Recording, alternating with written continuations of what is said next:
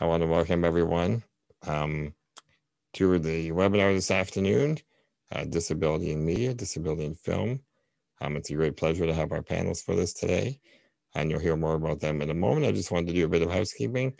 Um, first off, to ask everyone to keep your microphone on mute during the presentation, uh, as it helps reduce background noise. Um, as always, you're free, free to either leave your camera on or turn it off if it makes you feel more comfortable. This session is being recorded. Um, so I know that you had to approve that when you came on, but just to let you know. Uh, a little bit about ILC for those of you who are not familiar. Uh, ILC, Independent Living Center of Waterloo Region, has been around since 1982 in Waterloo Region. We deliver a wide basket of services for people with disabilities, uh, ranging from attendance supports in through our community resource program. And Sherry and myself, that's where we work. Uh, and this is a part of the community, re community resource program, but also part of the virtual activities and resource program. So we're happy to have you all here. Uh, without further ado, I will turn it over to today's moderator, Sherry. Thank you so much, Dan, and thank you everyone for joining us today. So welcome to our webinar on the topic of how people with disabilities are portrayed in the media, presented by the Independent Living Center of Waterloo Region. Uh, our lead speaker will be Jeff Preston. Uh, Jeff was born with a rare neuromuscular myopathy. He has spent his life dedicated to advocating for himself and others with disabilities. He has a PhD in media studies from Western University, and his research focuses on the representation of disability in popular and digital culture. He's currently an assistant professor of disability studies at King's University at Western University in London, Ontario. Also here to assist with our webinar today is Dan Harvey. He's a professional photographer and he has had some experience in small theatrical productions in Toronto. He has a master's in media studies and he's currently working on another master's of art degree at the University of Florida College of Journalism and Communications with a focus on web design. So thank you to our presenters for joining us today. Jeff, I'll now turn it over to you to begin the presentation. Um, if anybody does have questions, if you are able to put them into the chat box, uh, then we will get to the questions after Jeff's presentation. Um, if you're not able to get to, if you're not able to type them in yourself, if you want to wait until the presentation is over and ask them verbally, that is fine as well. So Jeff, I'll turn it over to you. Great, thank you, uh, Sherry, and uh, and welcome uh, to everybody that's here. Um, great to see so many people come out to uh, to hear about such what I think is an interesting topic. Uh, but of course, I am a little biased uh, as I have a PhD in media studies with a focus on disability in media. so this is quite literally what I do, more or less all day, every day. Um, so uh, adding on to, to Sherry's uh, uh, introduction of me, um, so I, uh, as I said, was born with a physical impairment, um, used a wheelchair basically my entire life. Um, and while I was growing up, I realized that what I was seeing on television and in films never really represented my life. I was seeing these characters and they felt so strange to me. I wondered whose experiences were these that they were representing? Was I maybe just not very good at being disabled? Or is there something more to the story? Is it perhaps that these representations are actually not about disability at all, but rather about the ways in which we imagine disability? It's that core idea that led me to do a PhD in media studies, where I decided to flip the script a little bit. So rather than asking, what types of things do we represent in media when it comes to disability, I wanted to try and understand what is revealed by analyzing these texts. Ah. What can we learn about the ways in which we think about, talk about, and more importantly, imagine disability? Because as it turns out, many representations of disability in popular culture until very, very recently were not created by people with disabilities, but rather were the production of non-disabled writers, non-disabled producers, directors, actors, and often then watched, revered, reviewed, and awarded by non-disabled people going to the movies, watching television, reading books, etc., etc. So uh, I have a little brief presentation that I want to share with you guys today, just some high level thoughts on what we typically see when we find disability in the media and what that kind of means to us as people with disabilities and what ways forward there may be. Uh, I am aiming, I'm aiming to keep this within kind of a 15 to 20 minute. Uh, so this is going to be a a rush job, uh, 15 minutes of about 40 years of, of academic research. Uh, so uh, I'll be spending about 30 seconds on each year. All right, so when we look at disability in popular culture, I think in my experience that we tend to see these three main tropes, three main categories that all disabled characters seem to fall within disabled characters seem to either be villains or heroes or just someone to be taken care of by another main character. Now, one myth of disability disabled people are not commonly represented in media. And that's actually not totally accurate. I'm currently working on a project where I'm trying to track every representation of disability in film. And our database is already over 800 films since really the dawn of cinema that have clear identifications of disabled characters. That doesn't even begin to include disabled characters that are either not clearly identified, that have non-apparent or invisible disabilities. The list goes on and on and on. So the first real bucket that we tend to find our characters falling into is that of the hero. Now, this has, I think, a real Canadian connection uh, because what other hero is there with a disability for Canadians than Terry Fox? And in many ways, Terry Fox is the iconic disabled hero, a man with an amputation rising above himself and his impairment to do something incredible, to motivate not just the country, but the world to strive for something better, to show people that the only disability in life, quote unquote, is perhaps a bad attitude. If we move to the next slide, we'll understand that the hero mythology is rooted in what we in the Academy call the supercrip model or the supercrip myth. The supercrip myth puts disability in this dichotomy. You have two essential choices.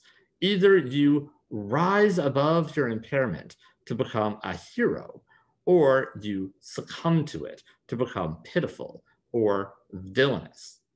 In these representations, then, we push disabled people to rise above their limitations, to overcome all odds.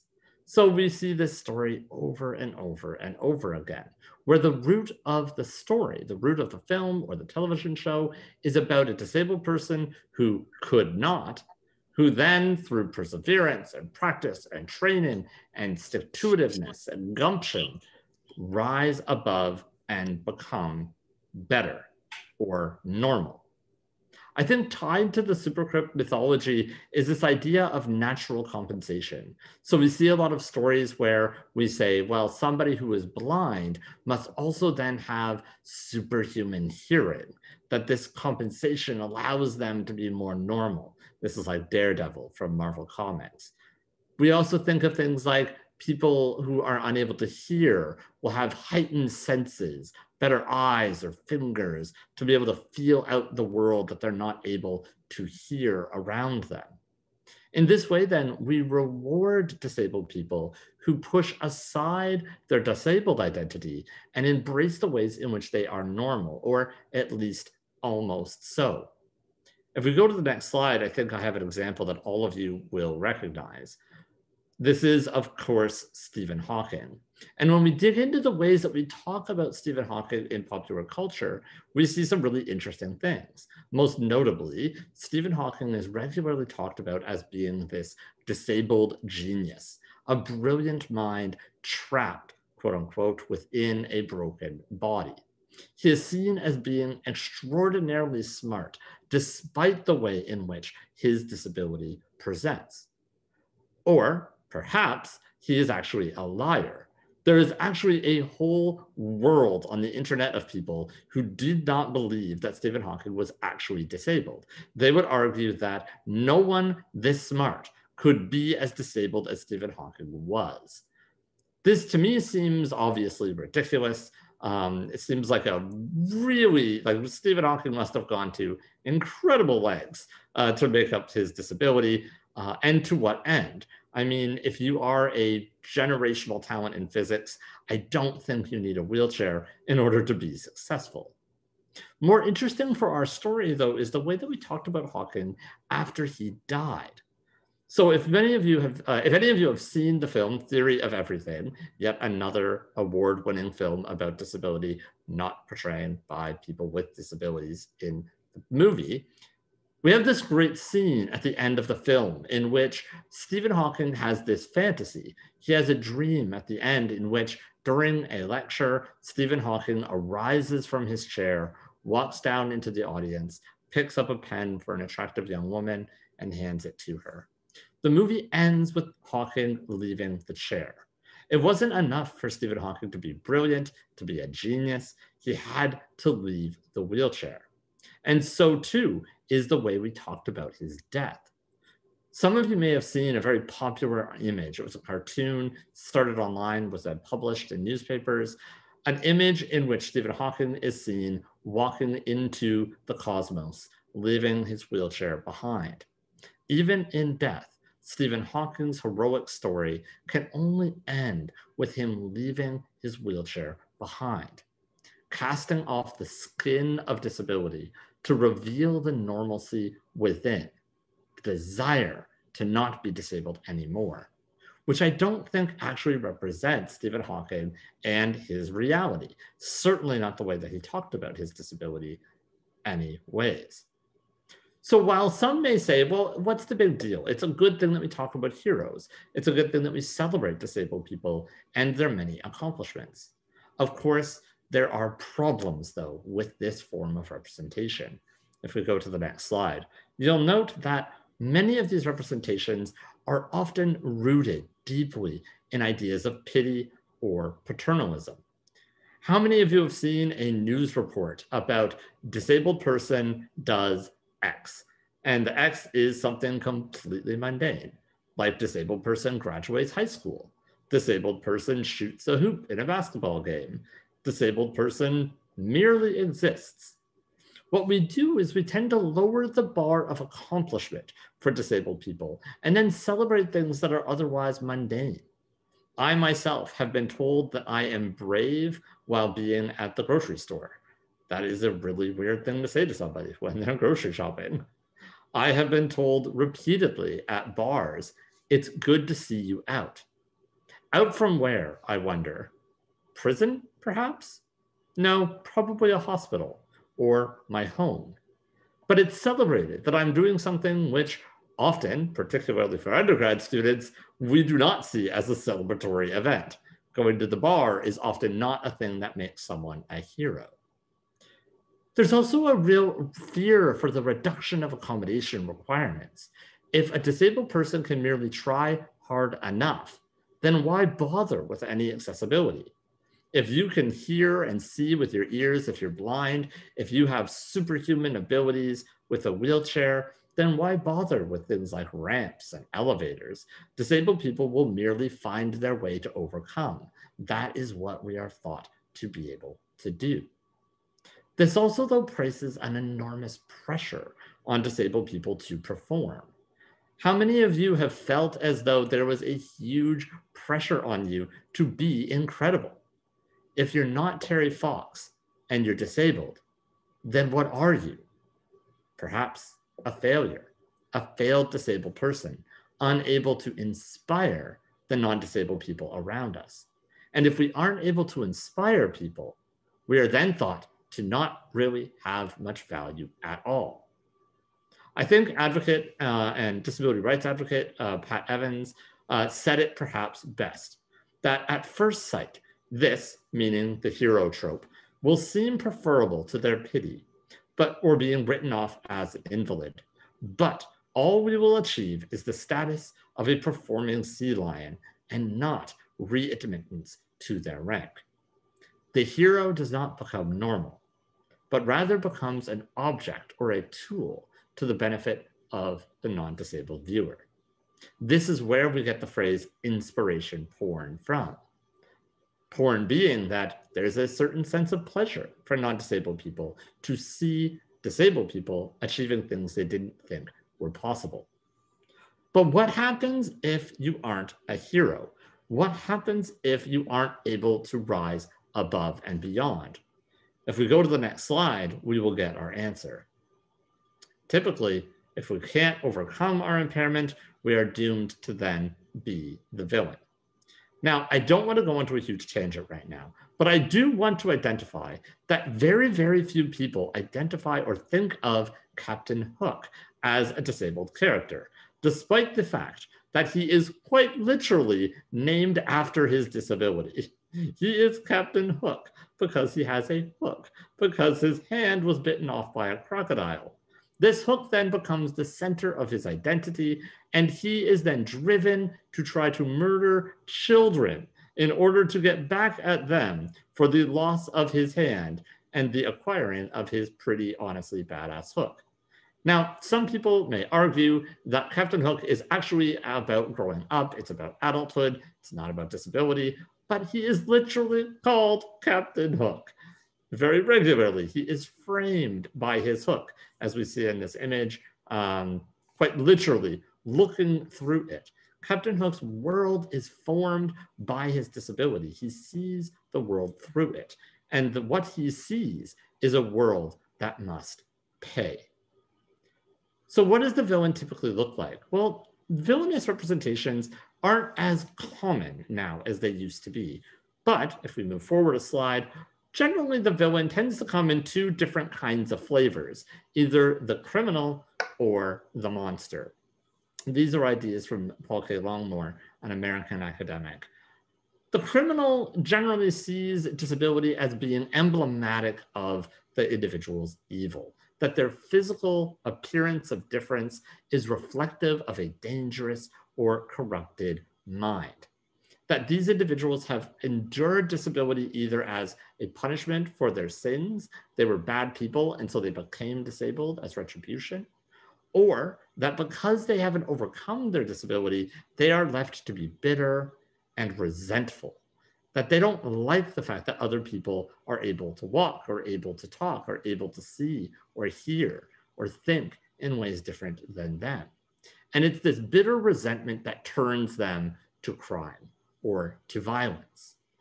Ultimately, this is rooted in the what I would say blaming the victim, that we see the victim as not adapting correctly to their disability and therefore not being a good person it should know, we should note and be aware of the fact that one of the main ways that we try to delegitimize disability advocates and activists is by calling them bitter.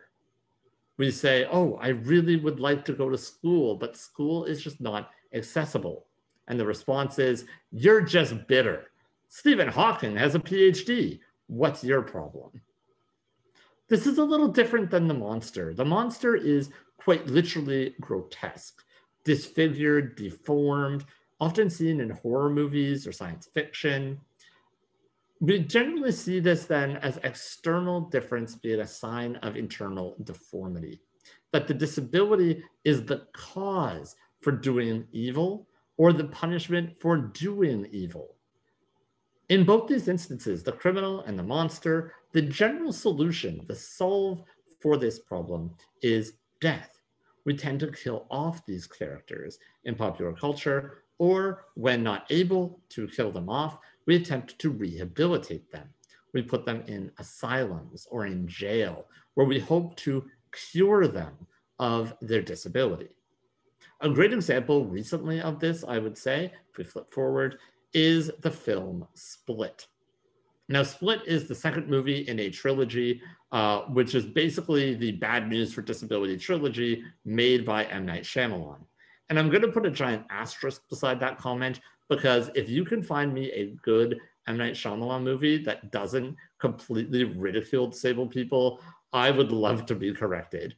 But basically, every single one of his films is rooted in disability as being scary. In Split, the middle movie, uh, Kevin, or the Beast, is a man with dissociative identity disorder. One of his identities being this ultra violent beast character who literally wants to eat young women. This is a prime example of disabled villains being seen as animalistic or not quite human. The beast is often crawling on all fours, bulging muscles, veins popping out. He lacks reason or compassion. Kevin is seen as out of control, wholly corrupted by his mental illness, and therefore a threat to everyone around him. The solution, in M. Night Shyamalan's opinion, is at first institutionalization, and eventually that does not work. And so death is the only way to protect the normals. Last but certainly not least, we have a representation of the burden. If you're not a hero and you're not a villain, in popular culture, if you're disabled, you then are probably a burden, or what I would like to call the Tiny Tim syndrome. Tiny Tim is, I think, my mortal nemesis. Um, I don't know that Charles Dickens knew that I would exist when he wrote the story. I'm going to assume he did. And he made this character purely to anger and frustrate me for my entire life. Tiny Tim is like the emblem of disabled people. He is the please, uh, can I have some more? Which I know is not Tiny Tim, but it's basically the same thing. So when we look at disability then as a burden, we typically see a world of anxiety. If we move forward a slide, we see disability then as harboring some sort of difficulty, that it's tough to be disabled, that people are mean to disabled people very regularly, and that like children, disabled people are fundamentally dependent on all of those around them. That friends and family and doctors and nurses and just kind people on the street must provide care for disabled people at all times because, like a child, they are unable to care for themselves. In some ways, then, I wonder if the burden representation is about drawing a line between normalcy and disability by saying there are normal people in the world and there are also disabled people in the world, two categories that are different, that must be kept separate, in which the non-disabled must care for these poor, sick children. Tiny Tim. Within this, we also tend to see a collapsing of disability impairment condition, universalizing. So often in these representations, one disability means lots of disabilities. So if you use a wheelchair, you probably also have a cognitive impairment. You might think or act like a child or be irresponsible. You might not be able to hear as well or have a seeing problem. It's also not uncommon when we start to blend disabilities. So they'll say, oh, this is a character who has I don't know, cerebral palsy, but it actually looks a lot like a spinal cord injury with like a little touch of spina bifida mixed in there. They just kind of blast them all together and say, well, that seems close enough. Not really caring about the disability itself, but rather caring about the function of the disabled character. Within these stories, then, disabled people must be contained. They must fall under the power of the parent the parent must care for them, must have authority over them, and if there is no parent, then they must fall under the care of medical geniuses, doctors who will control them, will help them, and will hopefully transcend them into the hero role. These stories then tend to draw a hard line around segregation, this idea that disabled people are happier when they're on their own. Whether that's right or wrong is perhaps hard to say. But an obvious example of this representation, if we go forward one, is of course the award-winning and trend-setting film Rain Man, featuring our character Raymond, one of the very early representations of autism in film. This story essentially is wrapped up around the conflict between Tom Cruise's character needing to care for his disabled brother, Raymond. And of course, by the end of the film, we all learn a good lesson in compassion. Tom Cruise stops being a jerk, kind of, in order to be a brother, more so a caregiver to his other brother. They all learn a lesson in humanity, and we all become better people. Again, in Rain Man and many movies like it, disability then becomes a moment to learn from, for disabled people to become better people through their interactions with disability. This isn't the only story, though, that we tell about disability, and particularly in the last decade, we have seen a huge change in the ways in which we represent and talk about disability in popular culture. If we move forward one slide, we'll get to my new category, a category which I refer to as subversive disability or subversive representations, perhaps most recently seen in the character Zach in the film Peanut Butter Falcon. I think if we go forward, core to these representations is that we are for the first time starting to empower disabled people to tell their own stories, to talk about the world in the way that they see it. What this means is that by representing ourselves, we're starting to get more authentic representation of disability, more critical representations. So we have people like Zach Anner, for instance, a man who started a very popular YouTuber at first. Uh, he uh, entered a contest for the Oprah network um, to get his own show on Oprah's TV channel. Um, he was robbed uh, and did not win that competition. Uh, internet folks discovered that he was robbed and started to harass Oprah, uh, and Oprah would then overturn her decision and give him a show as well. But more significant than that, because his show was canceled almost immediately, uh, was that he was then hired to write for a show called Speechless, uh, a reasonably popular show recently canceled on ABC about a family with a boy who has a disability, which in many ways breaks many of these stereotypes and actually satirizes them, mocks the way that we think and talk about disability in popular culture. We have people like Sarah Kane, uh, a playwright who wrote 4.48 Psychosis, uh, writing about her own experiences with mental illness. Uh, 4.48 obviously is an award-winning uh, award-winning play. We also have older people like Marlee Matlin. Uh, she broke the, the deaf barrier in cinema uh, in her role in Children of a Lesser God, was then later added into the series Switched at Birth, which is a really popular show that's seeped in deaf culture uh, and is now in uh, the award winning, or uh, sorry, record breaking sale of the film Coda. Uh, Coda, which is about children of parents who are deaf, uh, was a huge hit at Sundance, and Apple TV just purchased the rights for the most that any movie's ever been purchased from Sundance for. I think $25 million, something like that. So if you want to become a millionaire, make a movie about disability that doesn't suck. We also have people like Joyner Lucas. Uh, he's a musician, a rapper who's talked very publicly about ADHD and talks about the ways in which ADHD isn't necessarily always a drawback, that in the right field and the right conditions and the right environments, he excels perhaps because of the way his brain functions differently. Uh, he released an album called ADHD, which really overtly challenges the medical definitions and interventions into the world of ADHD.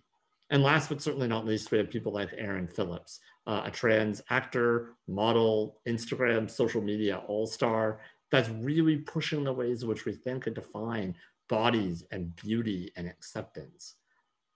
These people, among with a huge constellation of other disabled people who are starting to tell our story as opposed to falling within these narrow, rigidly defined categories that we typically see, are fundamentally changing the ways that we think and talk about disability. That as these texts become more popular, more accepted, new stereotypes, new categories, and new understandings of disability are slowly starting to take hold. So I think there is some light at the end of this otherwise relatively dark tunnel. But perhaps at the core of it lies that old famous disability rights slogan, nothing about us without us.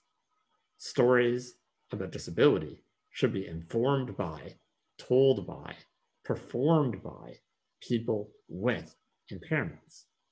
because after all, it's our story, not theirs. So that's what I've prepared for you today in a formal sense. But I really wanted to make sure that we had time to talk more, uh, to, to talk candidly about what we see and how we feel about it and what we maybe could do about it differently. And even more important, I want you to hear from someone smarter than me, uh, Dan Harvey, who's had some real experience and not just experience behind the keyboard. So I'm going to stop talking right now and take a drink. And uh, yeah, let's get a conversation going. That was wonderful, Jeff. Thank you so much. Um, very informative. I learned a lot. Um, I know that Dan, you know, he he isn't a big uh, talker, but I would love it if he could share just a little bit about his experience, um, you know, both on stage and maybe behind the camera as well. He's been in both roles um, as a person with a disability. So if you wouldn't mind, Dan, sharing just a tiny bit about um, your insight, because you've you've been on both sides of things, um, that would be wonderful. Um, hello, everyone. I hope you can hear me. Yes, okay. Um, yeah, so as uh, Sherry had mentioned, um, I have had a little bit of experience uh, in my real life. Uh, I'm not necessarily a card carrying member of ACTRA or anything, um, but I have had some experience uh, working on a production in Toronto on a theatrical play a few years ago. And in that process, I um, was introduced to a number of people who um, are showing that representations of disability are certainly um, things that pretty much anyone can do if you literally put your pen to a piece of paper and want to make it happen. So I know a lot of people um, tend to kind of grumble and um, not necessarily suggesting that Jeff was grumbling today, um, but I think uh, as Jeff kind of ended his presentation, um, saying that uh, nothing about us without us um, is extremely true because I think obviously we know how to represent ourselves um, as people with disabilities. And I think that if someone has a story to tell that they think can be something worthwhile or um, a piece of theater, a piece of um, cinema, or anything, uh, just any type of art, express yourself in some way uh, is something that anyone can really do. I think that's the only uh, deterrent, really, is uh, people themselves in many ways. Um, and some people might see hurdles in the industry, whether that's funding uh, initiatives, because um, obviously Hollywood, even though Hollywood, I don't know, I think, I think poorly of them many times because of various reasons, but obviously Hollywood is only going, when, only going to fund projects that they know that they will have a return on investment. And sometimes certain stories that aren't going to pull at your heartstrings and follow certain stereotypes might not be that return on investment some studios might be looking for. Um, but I think people are now realizing that uh, certain stories, if they are good stories, they make great entertainment and uh, you can make money off of anything good, I guess.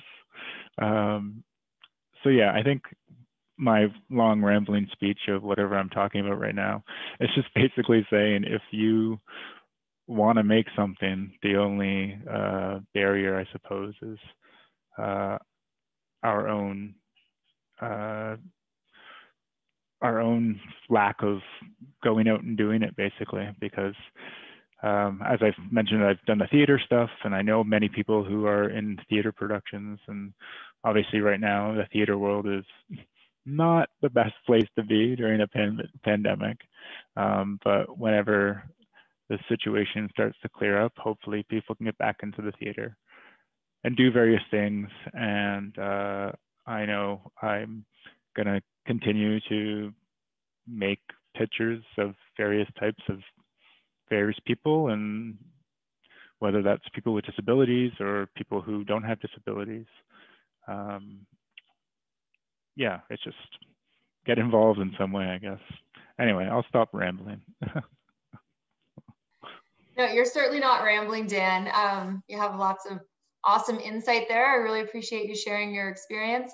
Um, yeah, I think I think you're totally right. I think a lot of the time it's we're scared, right? Like we're nervous, and maybe we've come across people as with disabilities have come across so many barriers in like everyday life that we just think this is there's just going to be too many hurdles. It's going to be too hard to do stuff. So you're not wrong. Um, I think we do have to just um, yeah, like with everything else. I mean, we're kind of used to having to fight for stuff, right? So you might have to to fight to if that's if that's what you want to do. Um, yeah, so we're going to open up the floor to questions and and you know any sort of conversation you want to have going. That would be great. Um, if you want, if you're not comfortable speaking or you want to send your question in through the chat box, that's great. And Dan Lejoie was going to um, read out any questions that we had um, come in so far. So Dan, if you have any questions there that you are able to read out at this point, and then if you, people want to add them in or jump in and communicate, that'd be great. Yeah, that's that's great, Sherry. Actually, I do have some questions that have come in, and um, before I read those, I do want to um, sort of uh, echo what you said, and, thank Jeff and Dan for presenting. Um, it's really informative, and um, film is a bit of a passion of mine, so it's great to hear um, your perspective. So we have a few questions come in. Um, and I'll just I'll read them and give either one of you a chance to respond.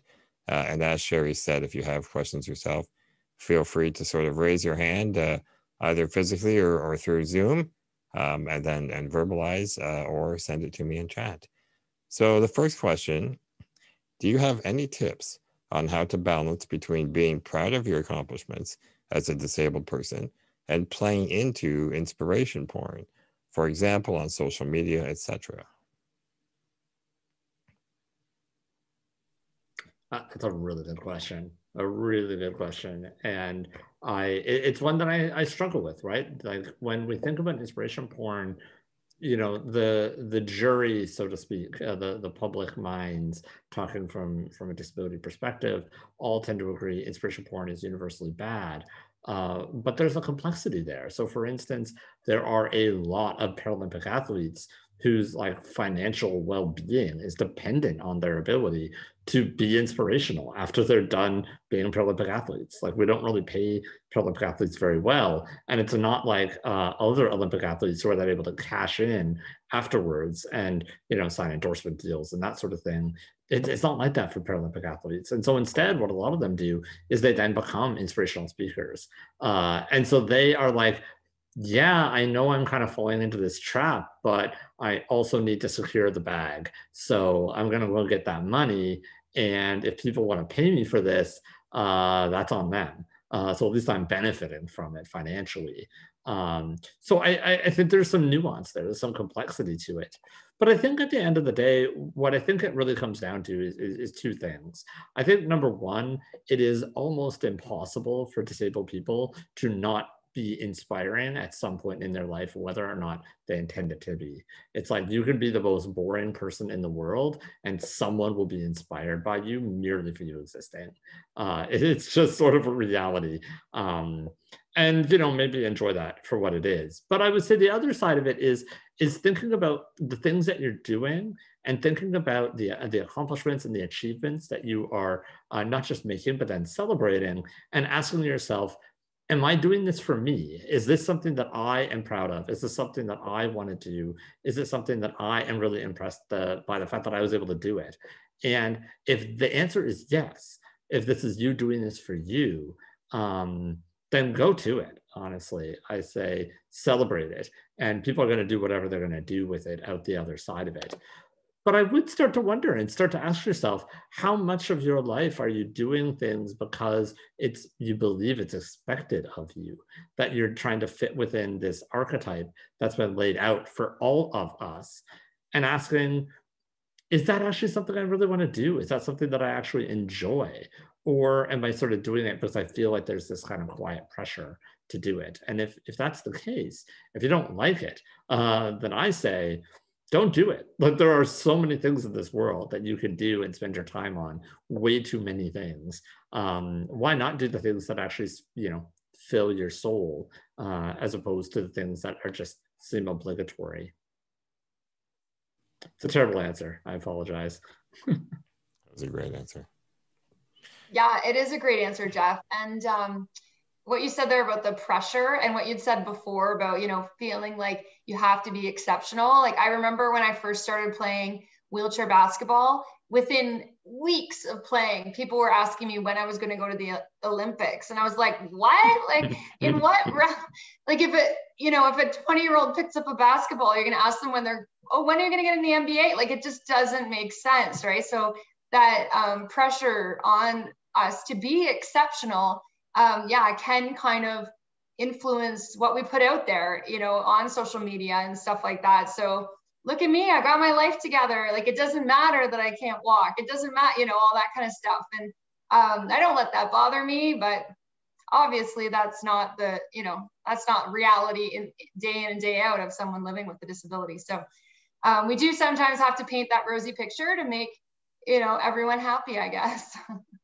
and I hmm. myself fall in that trap a little bit and I'm going to try to, to dial it back.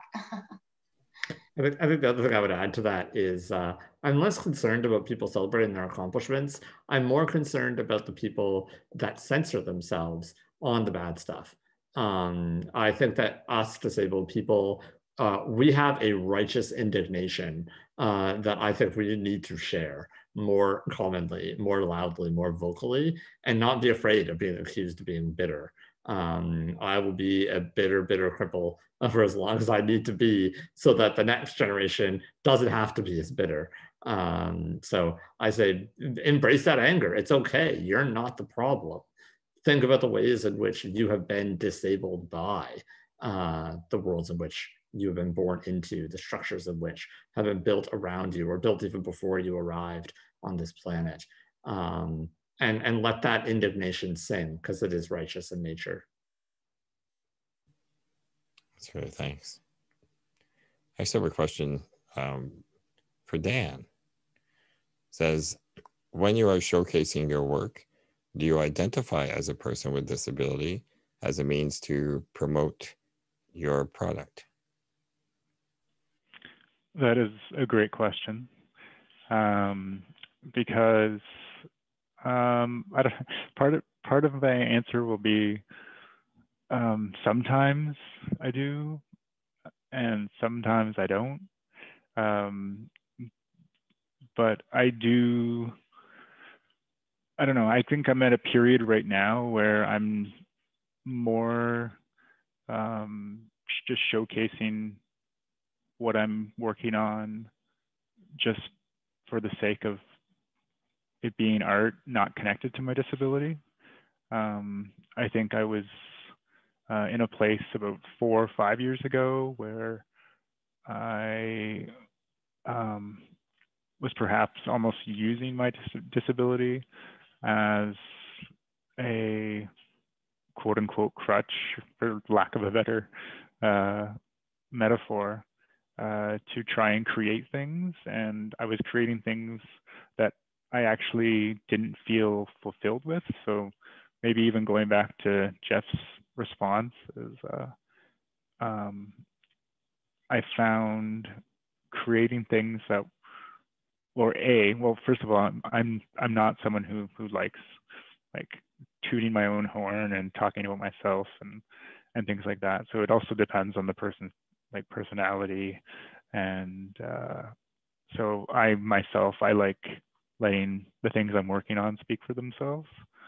And I think for the past two years, I've just liked making things that I thought were nice pieces of art, whether it's photographs or anything else. And uh, I don't necessarily connect them to my disability, um, but I still look for avenues sometimes because I still feel a connection to the community and people with disabilities, and I still want uh, sort of the idea that I'm a person with a disability making something, not just like, oh, that's an inspirational thing. It's just like that's something that someone does, and it, it may not necessarily go completely unseen, um, so that whatever stereotypes that still exist, um, even though I'm not directly going out to prove them wrong, but I'm somehow like subversive, like just because I'm doing something, trying to prove to people that people with disabilities can do whatever they want, depending, it doesn't have to do anything with their disability or anything. So I have given you a very long answer to uh, a very good question. Um, so yeah, it just, it really depends on what I'm working on and, and what my objective is at the end of the day. But I think um, I'm never well, I'm never without my disability. I wake up every morning with it and it's still connected to me and my wheelchair is with me everywhere I go. So I'm never completely without it. Um, so, um, so yeah, I, and I still like think about projects that I would still like to do with um, uh, various like realms of disability or in the disabled community. Um, I started a project a few years ago with Sherry that I never finished, and I started it, and Sherry was my first subject, and I think about going back to it sometimes, and I hope I will one day. Um, but yeah, so long to short answer is yes and no. Well, that's a great. That's, that's think that's probably a pretty common answer for a lot of people with disabilities. You know, yes and no. Sometimes I identify, and sometimes I'm just one of the crowd, right? So I think that's a great answer, Dan. Thank you. Um, I've got one here. It's sort of a combination uh, of a couple different questions that came in. So uh, I'll read this one here. It's a, it's a little long question, but um, it captures the sentiment. So, why do you think people with disabilities in film are so often portrayed by people without disabilities? Is there less talent with disabilities to choose from, or is it too difficult to make movie sets, theaters, etc., accessible for actors and performers with disabilities? Can I kind of jump in on this one? Absolutely. I have a lot of opinions. I have a lot of opinions on this. I'm going to try not to go on for like an hour. Um, okay. So there are basically two answers here, in my opinion. There is a the sort of the story as it's been told, and then I think that is there's the reality, which is somewhere in the middle. Um, so the story as it is told, um, Hollywood argues that uh, it is very difficult to incorporate disabled people into film or television sets. So they will say, well, but but what if the set isn't accessible? How do we get them on there? What about the changing room? Oh, well, it's very complicated. People have to change their um, costumes all the time. And like, where's the aid going to be to change them? Do we need a changing table? This is way too complicated. I mean, our budget is only $500 million. How could we ever do this? Um, so that's sort of the one side of the story. Um, and then also, it's like, huh, why aren't there disabled actors? Well, often because disabled people can't get into acting schools. Why can't they get into acting schools? Because acting schools say, well, there aren't any disabled roles. And also, we're not accessible. So sorry. Um, so there's this, this like pipeline that doesn't exist for disabled people in the same way. And then there's the other reality that um, many producers and writers and that have a limited imagination apparently. And they can't imagine how you would have a story that was written for a non-disabled character and how you could just drop in a disabled person into that role.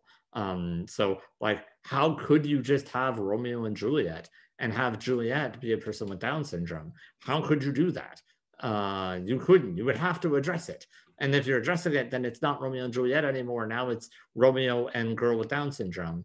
Um, and so I think that that's sort of the that's the message that we hear typically from Hollywood people, Hollywood folks. Or also they're just like, I don't know any disabled people. Um, that's another very common one. Um, I think the reality though is obviously a lot more complex.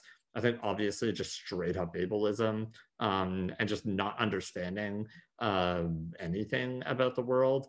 Uh, it doesn't help that people like Clint Eastwood, uh, who, yes, made the film Million Dollar Baby, which basically kills off a disabled character, uh, also sued the government over the Accessibility for Disabilities Act. He tried to stop accessibility from happening. And Clint Eastwood is kind of a big deal in Hollywood. So, you know, when you have these sort of leaders actively trying to keep disabled people out, not just out of cinema, but literally out of all of America, um, you've got a bit of a problem, I would say.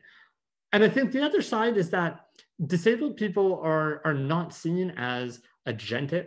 Uh, they don't have agency. They're not seen as having really valuable or important ideas or stories. And therefore, just as disabled people are segregated out in the real world and are placed into disabled spaces, we have the real Olympics, and then we have the Paralympics. We have the you know real Olympics and the Special Olympics um, we place disabled people aside and we draw these sort of harsh lines. So then disabled people are just the other. They're just out there in the world, away from us, the normal, that are generally populated the worlds of cultural production. And so then what happens is we see disabled people and say, oh, I should incorporate that in my film. Well, how would I do it? Well, disabled people have hard lives, they're struggling, it's sad to be disabled. Okay, so that's how they'll be in my show or that's how they'll be in my movie. And it just sort of gets like plunked in, um, as you know, Mitchell and Snyder call it narrative prosthesis, uh, where the disabled person is the crutch to allow the movie to move forward. It's like, why is um, Leonardo DiCaprio in What's Eating Gilbert Grape? He, his character is literally there to be a humanizing element for Gilbert Grape, the other character, John Depp's character. So, um, so they become a tool in this way. Um, and I think last, but certainly not least, it's that cultural industries are extremely reproductive in nature. What has been done once has to be done over and over and over and over and over again because people don't really have original ideas. They just take old good ideas and redo it over and over until it doesn't make money anymore. So you have Rain Man comes out, it's a huge deal. And so then everyone's like, well, now we need to make our Rain Man. So you get I Am Sam and all these other films that are just like Rain Man. And part of the reason for that is when they start doing screen tests, if you have a character that doesn't look or act like Rain Man, the audience now says, well, that's not autism. I know what autism is. It's about counting and it's about having these savant characteristics and having catchphrases. And if it's not those things, it's not real and it breaks the reality of the film. And so, in the same way that as a child, I saw representations of disability and was like, that's not how we are. It's actually the other way around for people that don't have experience with disability that those representations become the true accurate representation. And anything that goes against it then seems fake or wrong or overly politicized and is then not interested anymore. Um, and so it doesn't get picked up. And I think all of those tensions are coming together. That, and that's, I think, a major thing that we're trying to fight against uh, when it comes to production. That was a long answer. I apologize. I just got very excited by this topic. That's great. Thanks, Jeff. I think I think the actually the other part that you could add to this is uh, this isn't necessarily something new. Um, the the world of acting, humans have been playing other people and other characters for hundreds of years. And three or four hundred years ago, um, it actually wasn't okay for women to be actors, and men were acting, pretending to be women on stage.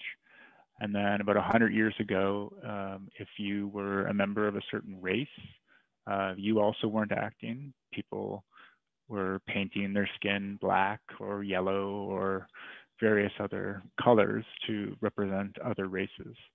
Um, so people pretending to have disabilities um, can certainly fall into these other camps of um, actors pretending to be other people. Um, and that's sort of one of the minor issues with why um, a lot of people are still doing it. And um, part of it is going to the craft of acting. Um, you have some people um, like uh, I'm blanking on his name, the dad from Malcolm in the Middle. Jeff, help me. Um, Bryan Cranston. Bryan Cranston. He uh, redid uh, the the Intouchables a few years ago, and he played the main uh, individual who had a spinal cord injury. And when he was asked um, what he felt about portraying a person with a disability, even though he doesn't have a disability, um, his main answer is, "I'm an actor. We are paid to pretend to be someone we're not." And that's what I do for a living. Like that's what we do. Um, so it doesn't matter if I have a disability. Um, every day, he says, I get up and my job is to pretend to not be me. Um, so it doesn't make a difference whether or not I have a disability or not. And so this seems to be also an argument that um, a lot of people just in the theater world or the acting world um, will continue to use. And it's hard to argue against it because there's this long standing um, uh, belief that acting is this like cherished uh, art form that uh, people should be able to uh, portray anyone they want if they're method actors or whatever, if they're Joaquin Phoenix and pretending to be uh, John, what's his last name? John um, Calhoun. What's his What is it? Calhoun. Yeah, John Calhoun. Um, this like these happen all the time, and uh, I don't necessarily think it's going to stop anytime soon.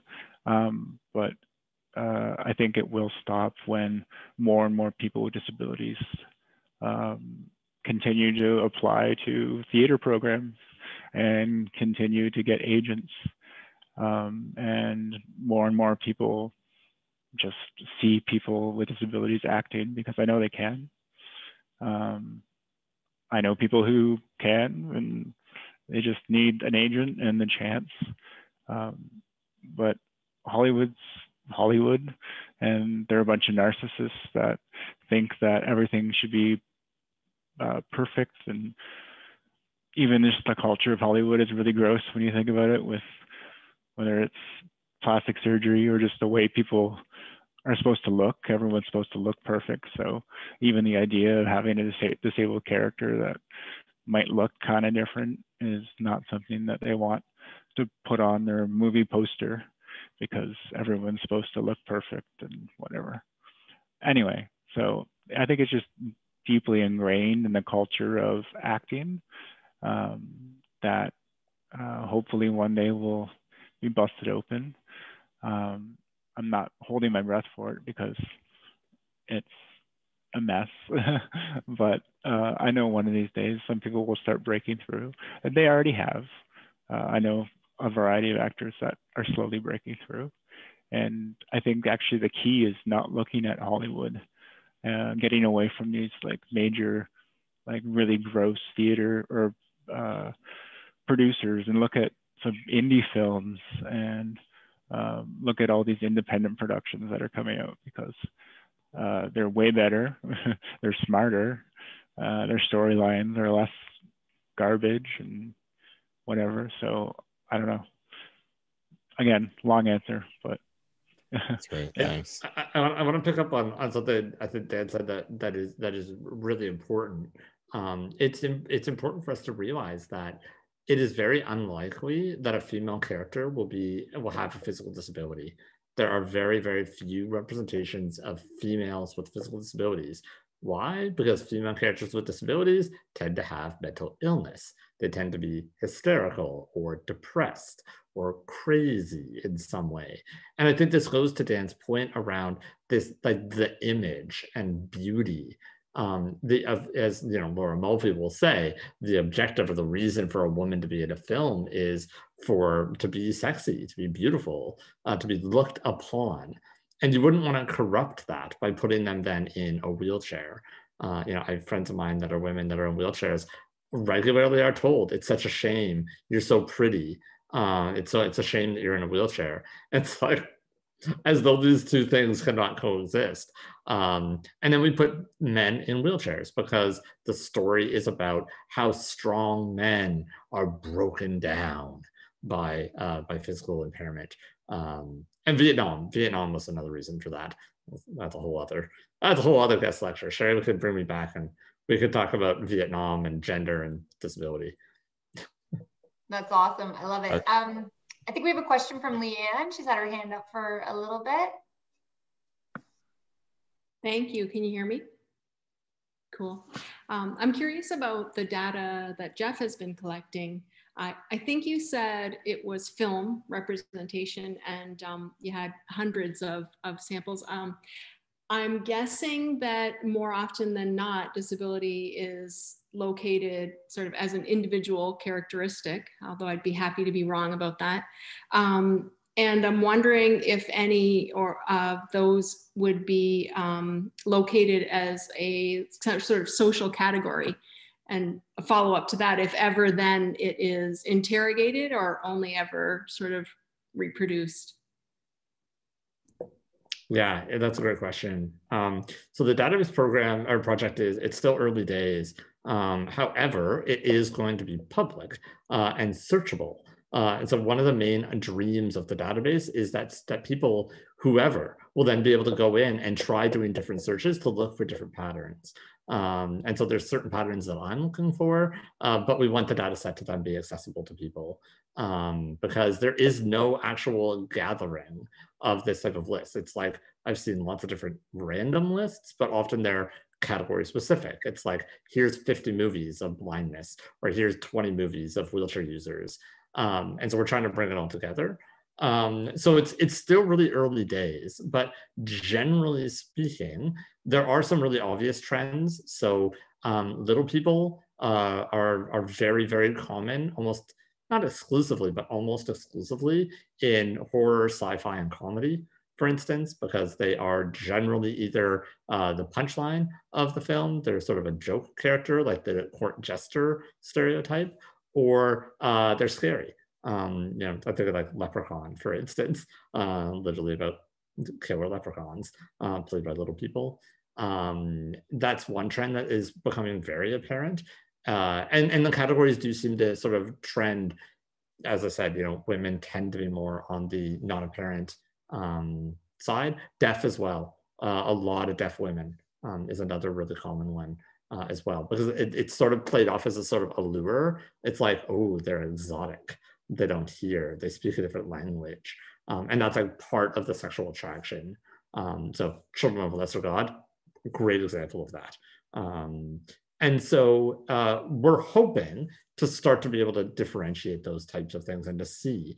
But I think to Dan's point, what we are seeing is the further you get away from the mainstream, the more likely it is that the representation is informed by disabled people. Either they were writers or they were actors within the text. Uh, and also, the more likely it is to represent what we would call a social model of disability perspective, um, as I say, sort of more of a social construction as opposed to uh, toward to health. And that is also like within the last like 10 years. Um, basically, like it, there's not a lot of that in the 90s. Uh, it's not really until kind of the 2000s, like Rory O'Shea was here would be kind of a, an early example. Um, yeah, that you start to see like overt reference to like the disability rights movement. Um, yeah, so there seems to be a bit of a temporal nature. A lot more villains in the 80s, a lot more inspiration in the 90s, um, probably as a response to the villains. People are like, stop portraying us as villains. So they're like, okay, then you're heroes. Um, so I think that's sort of the way that this tends to work. It's so much of it is response to response to response. Um, but yeah, so once the database is up and running, hopefully we'll have a kind of a big to do. Um, but I'll make sure to let uh, Sherry and Dan know, uh, and so then uh, they can push it out as well. And hopefully you'll see once it's up the line, and uh, you can start doing some searches. Okay, I think we've got time for one more question. Um, this came in, and uh, I recently saw an episode of a show where one of the secondary characters, a doctor, was deaf and used a tablet with an interpreter on video call to communicate with her colleagues. I thought it was really interesting because it wasn't the focus of the character story, just the fact of her life. Your portrayals like this example give you hope that the industry is changing and persons with disabilities will be portrayed more realistically in media moving forward.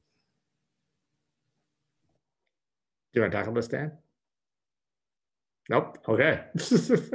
uh, yeah, absolutely. It absolutely gives me hope. Um, I think it's great that we're starting to just inject disabled characters. They're just there, just because, because there are disabled people in this world. Uh, you know, there's like, I would argue probably close to 20% of our population has some form of impairment, uh, either temporary or chronic. And so, uh, of course, they should be there. Uh, I, we are seeing this a lot more commonly that people are, are allowing it just to exist.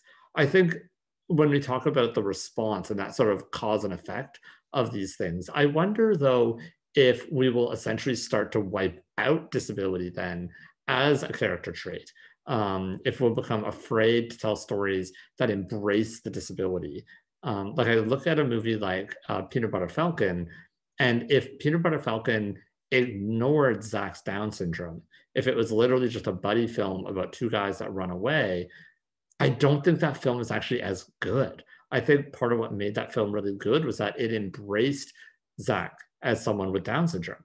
And it was like, yeah, that's a part of who he is. It's an important part, and it's a good part of who he is.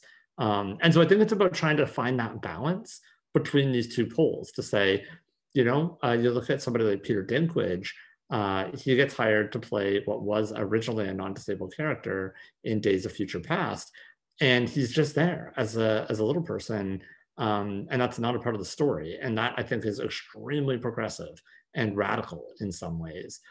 But i also think that it's important for us to, to continue to build disability culture um, and to find pride in and connection in the ways in which we are bound together not necessarily by our difference but bound together by the ways in which we are imagined as different by by the majority uh, by the non-disabled or those who haven't discovered yet that they are or will be disabled at some point. Um, I think that that culture, I think, is really important. And I think it's good because it reveals that the world as it stands right now is not good uh, and that there are different ways of living. Um, I think disability offers a radical indictment on the ways in which we have built the current world, the current Canada that we live in as a place that isn't right and needs to be better. And disabled people perhaps have some of those answers. Uh, and that comes out of this sort of culture that gets built between us. Um, so I think we want to try and balance it. Um, embrace and be proud of when we can, and also just be present when we can, because that's more true to reality. Well, listen, everyone, I want to thank everyone for coming out. I want to extend a thank you to Sherry, who helped make the connection uh, with Jeff and with Dan. Uh, first, I want to thank our panelists, Jeff and Dan. Um, you've given us a lot to think about today, and uh, I look forward to uh, hearing more about the database moving forward. That sounds um, really intriguing. Um, folks, I mean, uh, if you want to stay connected to some of our other webinars that we do, I would encourage you to either email Sherry or myself um, at the Independent Living Center. We can connect you with our weekly email list uh, which often says what's happening. Um, but other than that, I want to thank everyone for coming out uh, and again, enjoy the rest of your day and look forward to hearing more about the database.